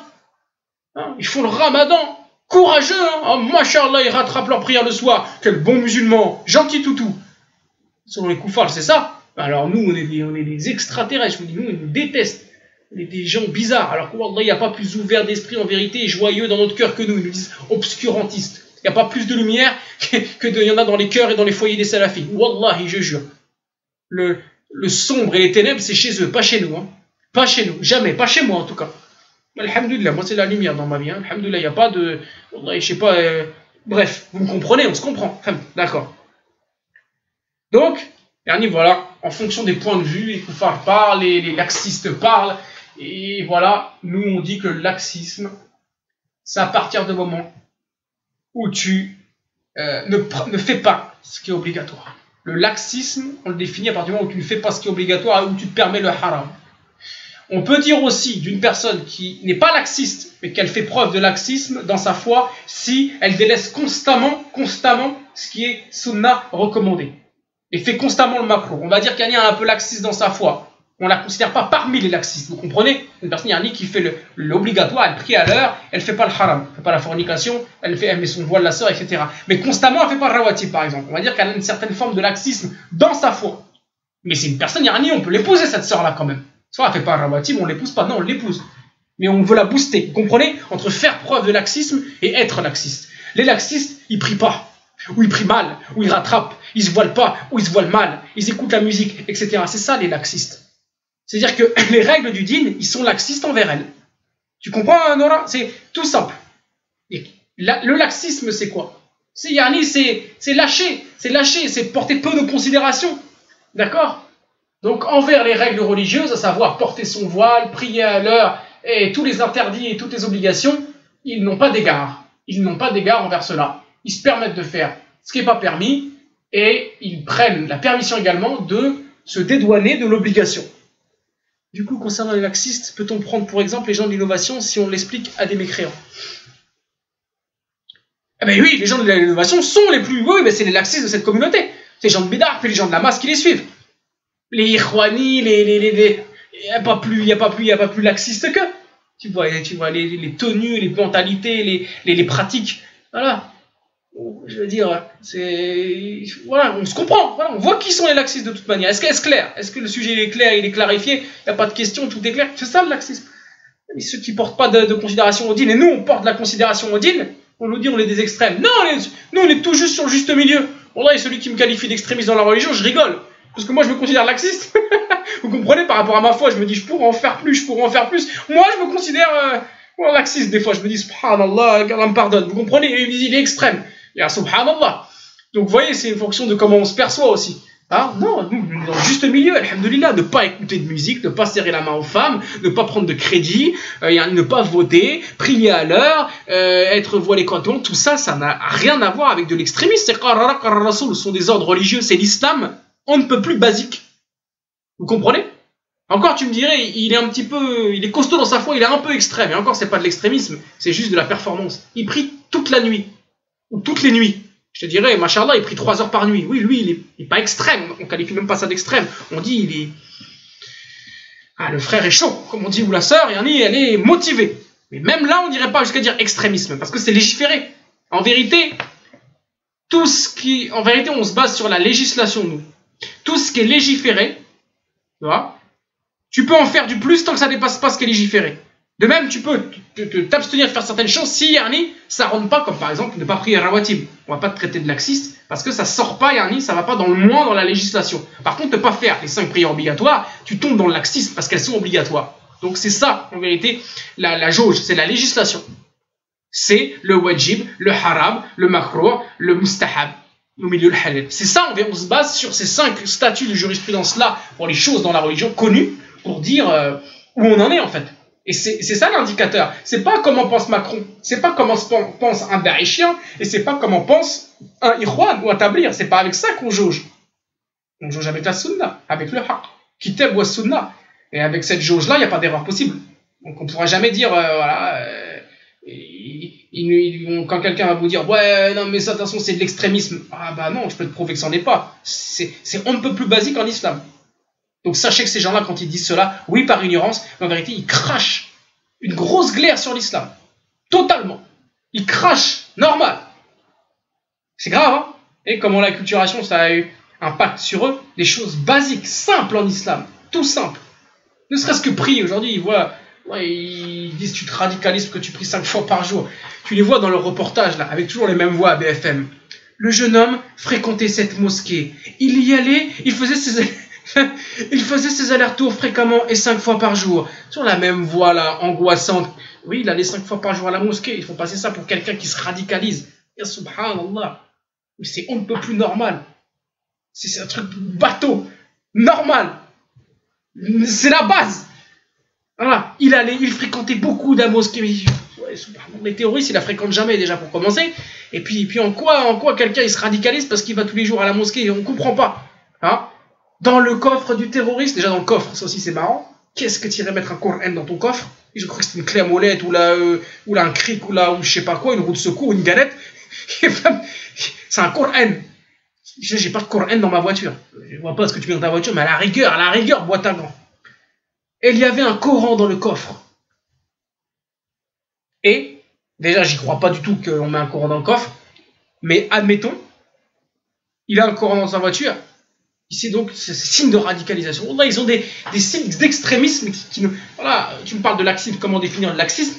Bah, Il est bon aussi, si on parle du laxisme, je pense, bien défini, alhamdoulilah, de parler aussi du, du, de l'extrémisme. Comment il est qualifié, c'est aussi une perception, n'est-ce pas?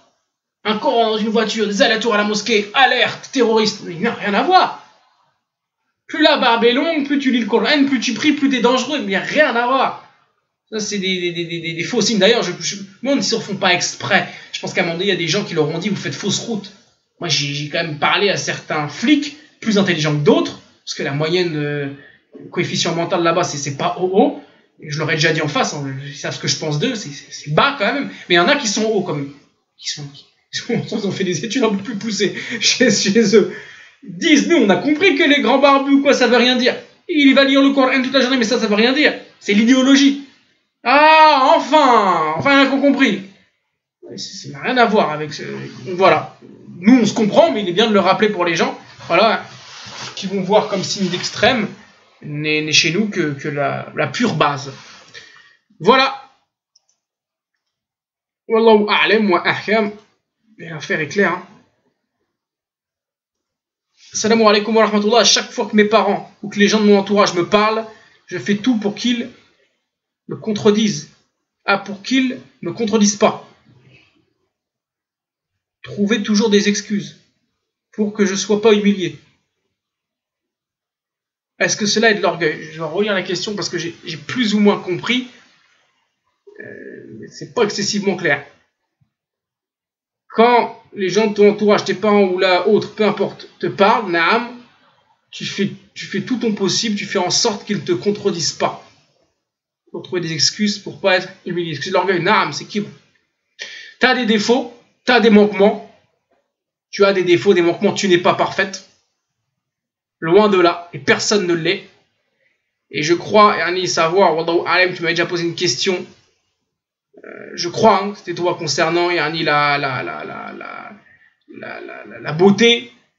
Pensez, Ernie, que, en gros, te sentir plus belle euh, que les autres.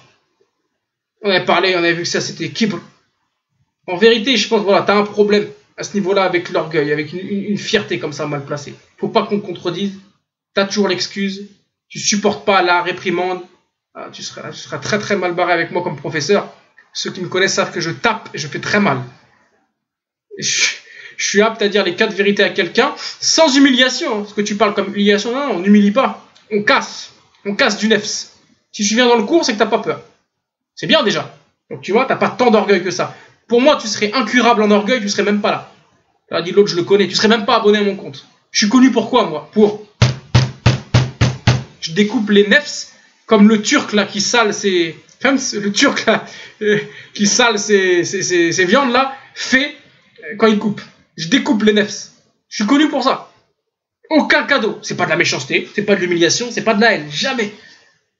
Mais si tu as envie de te faire boxer le nefs, viens voir tonton Qasim. En général, ça, ça, ça manque pas.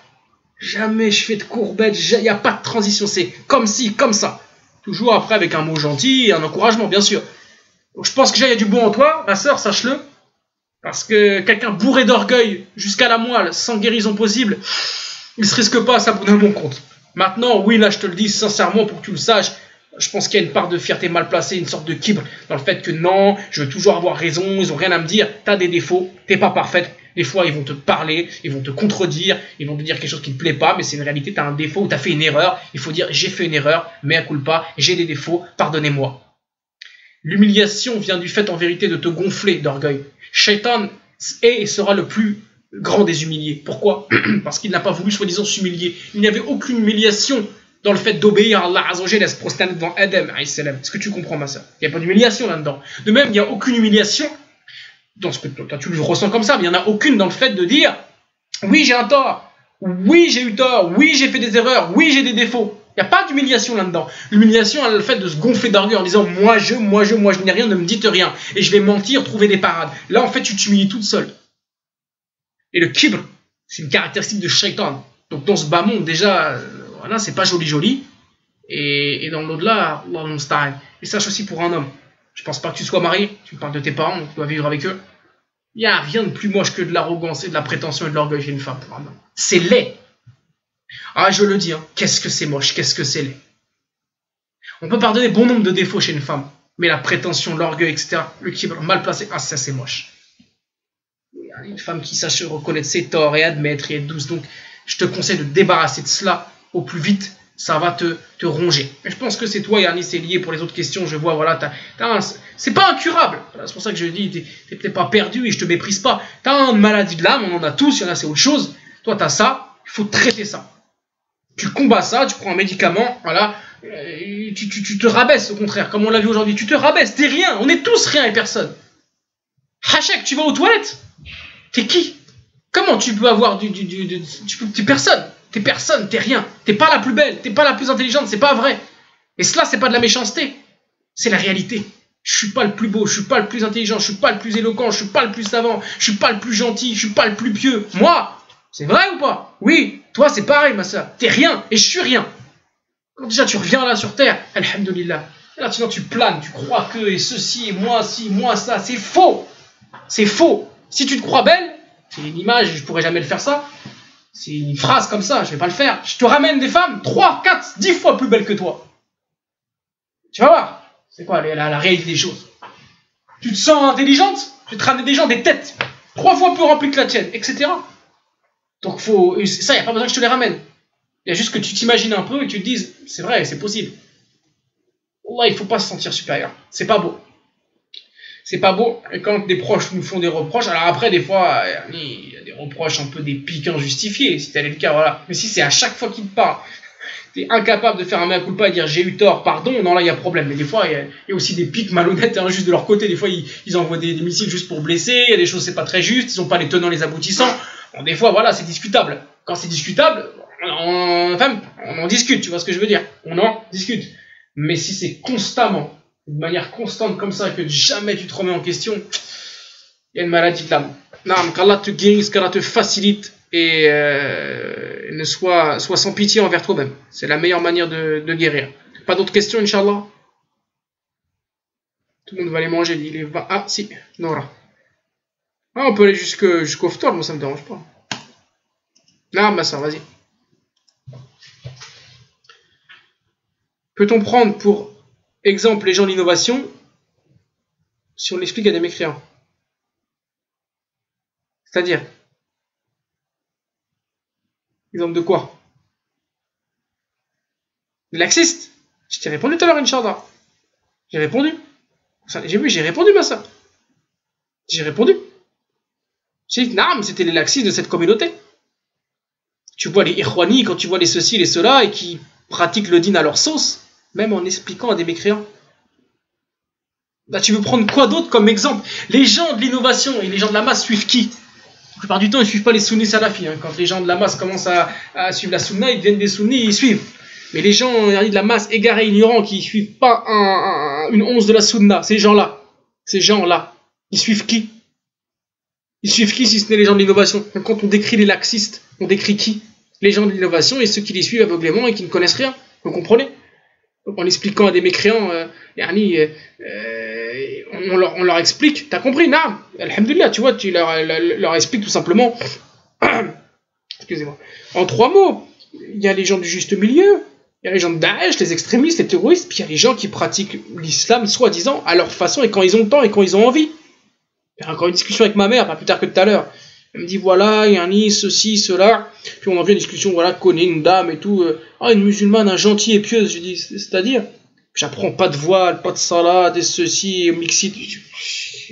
Quelle bonne musulmane. Je la considère même pas comme une musulmane. Vous voyez?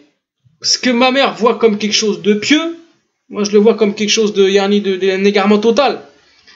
Et tant qu'ils sont gentils, voilà, la plupart du temps les gens disent musulman pieux juste parce qu'il est gentil et souriant. C'est ça l'islam.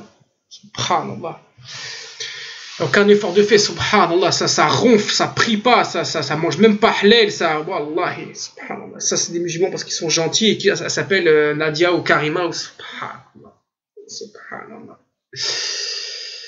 Donc voilà, donc après, en expliquant aux mécréants, comme j'explique à ma mère, j'essaye en tout cas de lui expliquer, je lui dis tout simplement, euh, il y a des, bah, là, les extrémistes, elle connaît ma mère, c'est très bien qu'on n'a rien à voir avec ça, et ce sont des tarés. Mais elle a des fois, parfois, du mal à comprendre entre moi et les, les laxistes. Et elle dit qu'on est tous, non, non, on est tous des musulmans, machallah, quoi. Aussi bien moi que eux. Non, non, non, non, on se démarque. Non, les gens de la Sunna n'ont rien à voir avec ces gens-là.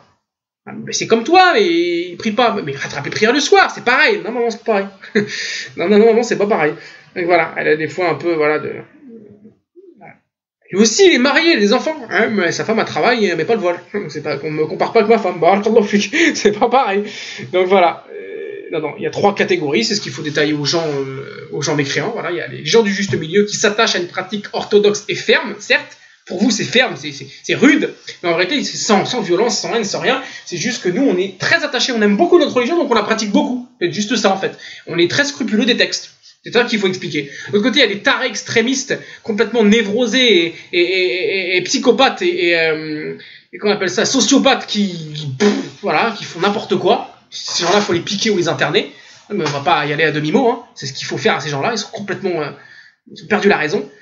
Euh, ils connaissent rien de l'islam. Et puis de l'autre côté, des gens aussi qui ne connaissent rien de l'islam, mais de l'autre sens, qui euh, ne font rien, ne font aucun effort. Ou quand ils ont envie, le dimanche, en vacances, pendant Ramadan, on voit, ils prient pendant Ramadan, les mosquées sont pleines, tu vois des visages que tu n'as jamais vus. Passer l'Aïd, c'est fini, il n'y a plus rien. Donc c'est ça qu'il faut expliquer tout simplement à tout le monde, et aux mécréants, et aux gens de l'innovation, qu'il y a des catégories distinctes bah, fais en sorte, Inch'Allah, fais, rentre dans la bonne catégorie de ceux qui pratiquent dans le juste milieu, euh, voilà, assidûment et continuellement leur religion jusqu'au bout, jusqu'à l'yaqin. L'yaqin, c'est la mort, le maut. Jusqu'à le maut, jusqu'à. Tu, comme ça, tu, tu, euh, tu pratiques. C'est ça. C'est ça, là, on, demande à Allah d'être sur l'istiqama, sur la, la, la droiture, jusqu'au bout. C'est prier tous les jours, c'est se voiler tous les jours, c'est baisser le regard tous les jours, c'est apprendre tous les jours, c'est jeûner le plus possible. C'est ça C'est pas quand on a envie, quand on veut, comme ils veulent. Voilà. Ils verront devant Allah qu'est-ce qu'était l'islam le vrai. Nous, on, on, sait quel est le vrai islam, on se base sur les preuves de la législation, kitab wa sunna. Si maintenant il y en a qui, qui veulent. Euh, euh, je sais que c'est douloureux à entendre, mais s'ils veulent dire que le vrai islam c'est le leur, ils peuvent bien le dire. Nous, on sait que c'est faux. Mais c'est vrai que c'est, j'aime pas, j'aime pas entendre ça. Genre des gens, Allah, ils pratiquent rien. Et ça m'énerve. Ça m'énerve de les voir se revendiquer avec des grandes banderoles, les grands musulmans, les meilleurs musulmans, les bons musulmans. Ils prient même pas, euh, ils prient pas ou alors ils prient pas à l'heure avec leur mosquée, la UOIF avec 12 degrés. Et voilà, nous on a tout compris, vous vous comprenez rien, alors que toi tu es sur la sunna, tu sais que tu es sur la vérité. C'est même pas une question que tu les méprises, mais ça énerve en fait. Ça énerve de les voir tout plein de gloriole et d'arrogance, alors qu'ils sont loin du dîme authentique, se revendiquer à ce point-là euh, du vrai islam. Et puis malheureusement, c'est ce qu'ils ont fait croire aux, mécréants, ça les arrange en fait. Je pense que les mécréants, ils savent qu'ils sont laxistes, parce qu'ils connaissent l'orthodoxie. Car l'orthodoxie, pour rester dans l'explication, Inch'Allah, c'est pas que sur l'islam. Hein. Il y a des juifs orthodoxes, il y a des chrétiens orthodoxes. L'orthodoxie, c'est s'attacher, dans la définition à peu près, s'attacher, yani, au fondement, aux bases fondamentales de la religion et avoir une pratique euh, quand je dis ferme, une vraie pratique. Pratiquer assidûment et quotidiennement sa religion. C'est ça l'orthodoxie. Pas de nouveauté, pas d'hérésie et pas de laxisme, comme on a parlé. Pas de, voilà, euh, pas de laisser aller. Ben voilà. Donc euh, les, mécréants savent très bien ce qu'est l'orthodoxie. Et d'ailleurs, ils n'ont aucun problème avec les juifs orthodoxes. Eux, c'est pas leurs ennemis. On se demandera pourquoi. Mais nous, ils ont des problèmes avec nous, les orthodoxes. Ils savent qu'on n'est pas dangereux, qu'on n'est pas violent. Au fond, ils le savent, les mécréants. Mais l'orthodoxie, chez nous, dérange parce qu'elle est trop, est trop visible. Donc ça les arrange bien. Et un nid de, de, de, de, penser que les bons musulmans de France sont ceux, et un nid qui, euh, vous les connaissez très bien, voilà, le, le, pas de voile ou voile fashion, et bisous aux garçons, et la musique c'est cool, et puis euh, il faut voter s'engager, et puis il faut, j'en sais rien, vous, connaissez, je sais pas, des égarements, il y en a plein. Hein. Voilà, tout un tas de tout un tas de choses et les hommes et les femmes sont, sont égaux donc on serre la main. J'ai déjà dit. Bref, vous connaissez tous les égarements prêchés par les Irwani et compagnie. Ça les arrange bien de dire que ça c'est le vrai islam, alors qu'en vérité les koufars savent très bien que le vrai islam c'est la salafia. Et ils en sont, ils le savent, ils savent très bien. Ils savent très bien que c'est un islam. Euh, euh, j'ai du mal à dire c'est un islam parce que c'est lourd dire c'est un islam. L'islam c'est quelque chose, c'est pur. Dire, euh, leur, leur folklore là, ils savent très bien que c'est un folklore qui n'a rien à voir avec l'islam pour le coup euh, et, que c'est juste euh, culturel et traditionnel et qu'on va dire que ça, ça les canalise, ils sont contents. Ils se disent, bon, ben, on leur laisse ça, après tout, qu'ils jeûnent chez eux et qu'il faut exclure un mouton, ça ne nous dérange pas. Ils parlent comme ça de nous. Hein. Pas se leurrer. Hein si, euh, bon, Yasmina veut se mettre un foulard rose dans les cheveux à l'université, laisse-la. C'est pas dramatique en soi. voilà, donne-leur des miettes, pense qu'ils pratiquent leur vraie religion, ils sont contents nous, on sait que c'est du folklore. Vous savez pourquoi? Ils sont au courant de ça et j'en suis convaincu parce que si ils ne le savaient pas, ils auraient combattu cet islam de France, entre guillemets, cet islam laxiste, cet islam irwani ou UF. Vous comprenez? Ils l'auraient combattu, ils l'auraient éradiqué de la même manière qu'ils veulent combattre la salafia, tout simplement. S'ils le laissent, c'est que ça ne les dérange pas. Pourquoi les soufis, ils ont pignon euh, sur rue dans les mosquées, les tablirs et les irwani Pourquoi ils laissent les gens de Bidara comme ça? Ravi. On sait qu'ils sont contre eux. Ah, c'est folklorique. C'est même des fois, c'est comment, on appelle ça? C'est euh, euh, pas tropical. C'est comment les propos des colons et des racistes quand ils disent c'est exotique? Vous savez quand ils voient un Renoir des fois, ils voient un Renoir comme ça, ils lui disent ah j'aime bien ta culture, c'est exotique. Subhanallah. Comme disent, comme disent les Renois et, gros chip.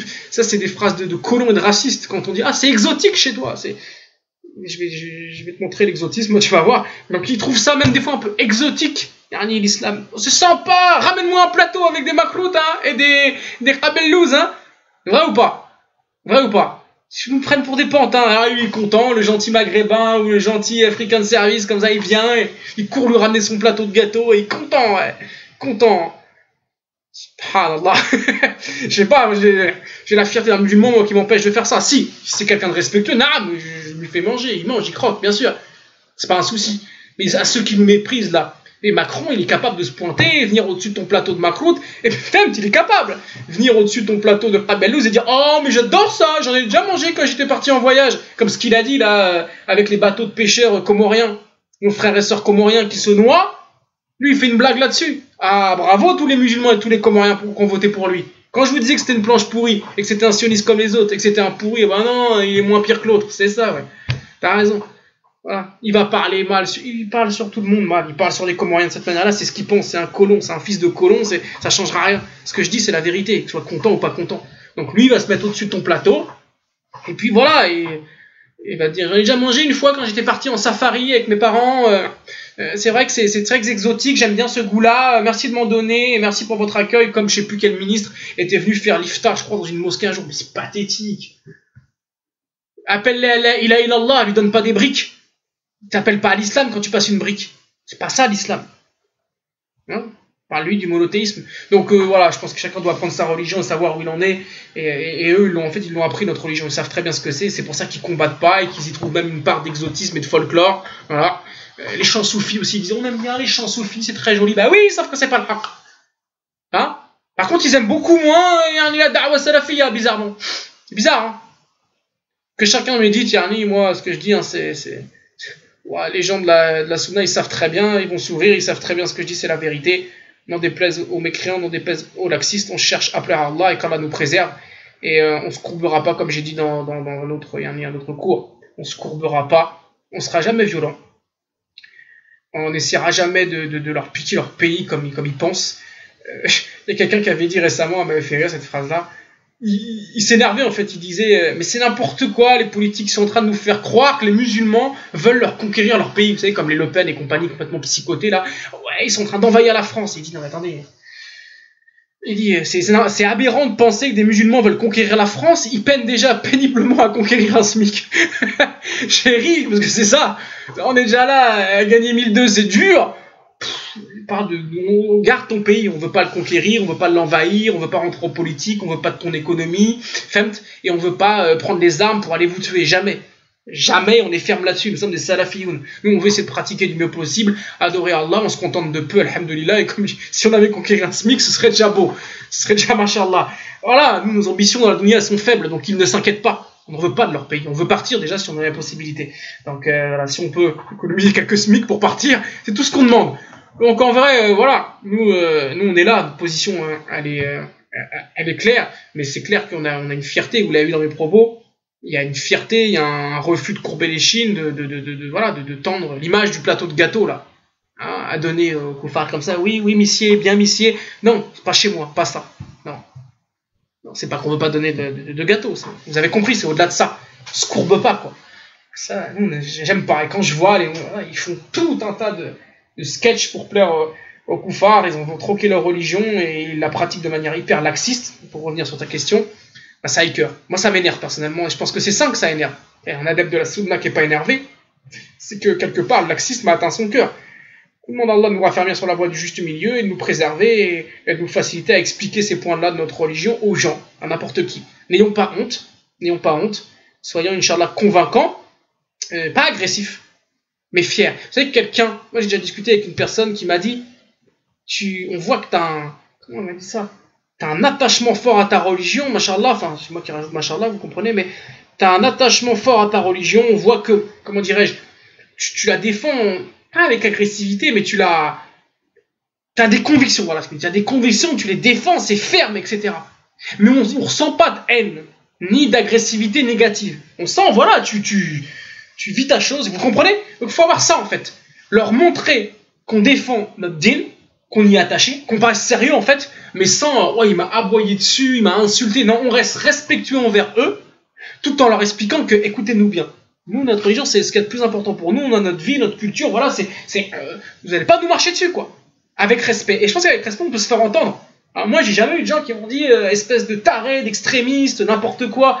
Alors maintenant, ouais, les gens de la Sunna, ils veulent bien faire, mais ils savent pas parler. Apprendre à parler, c'est quelque chose qu'on doit, on doit faire aussi avant tout ils aboient, des fois ils insultent, des fois ils méprisent, ils font des, regards méprisants, ils, ils sont pas capables de mettre une touche d'humour dans le prêche. Des fois il faut aussi faire sourire l'interlocuteur, qui, qui, voit que voilà en face de, lui, il n'a pas quelqu'un qui veut le détruire, envahir son pays. Tu lui fais comprendre.